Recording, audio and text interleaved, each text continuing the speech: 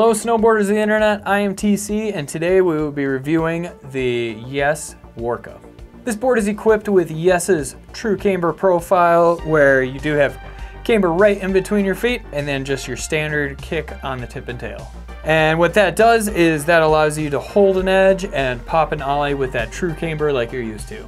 This board comes in the sizes of a 148, 150, 153, and 155. I rode this board at Copper Mountain where beautiful fresh six inches on a nice sunny day that later in the day turned into slush and became a lot of push piles. I used Vans infused boots and I also used my Jones Mercury bindings.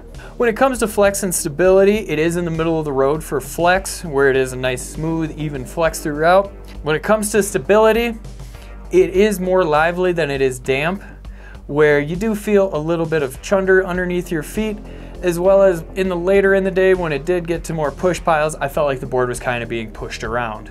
When it comes to popping on this board, it does ollie more like a skateboard than a snowboard, so when you really put all your weight into the tail, it doesn't return it quite as much as all of that force underneath your feet there.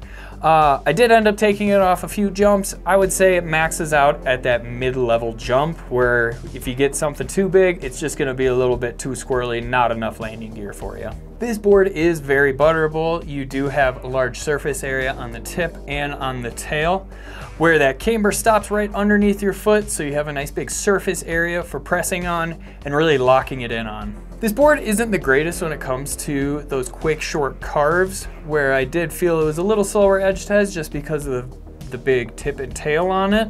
Um, when you did carve it into fresh powder, it did handle a little bit better. Same goes for those medium carves on more chundery chopped out stuff. It really didn't handle as well when you got into that smoother terrain or fresh pow. It turned a lot better. And pretty much the same goes for those large carves. When I did get it up to speed for a large carve, it kind of chattered out on me where it doesn't really like doing those carves as fast, where slow is more steady on this board. This board is made for somebody that wants to take it on cruisier, mellow powder, or somebody that wants to get into those tighter trees where you're getting those places that most people on a regular size board can't get to.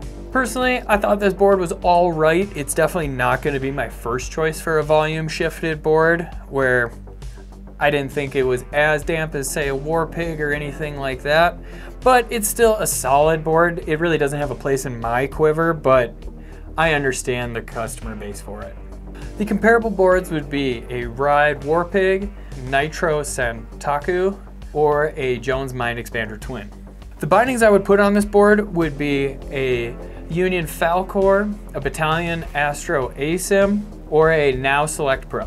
This has been my review of the Yes Warca. Do you agree? Do you disagree? Do you own one? Are you gonna buy one? Leave a comment down below. I wanna know what you guys have to say. If you're new here, make sure you subscribe click that bell, turn on those notifications. If you want to support us further, head on over to Angry Snowboarder VIP, become a member. I could tell you more about it right now, but we have a great video over there explaining it further. And as always, guys, I'm TC, and we'll see you in the next video.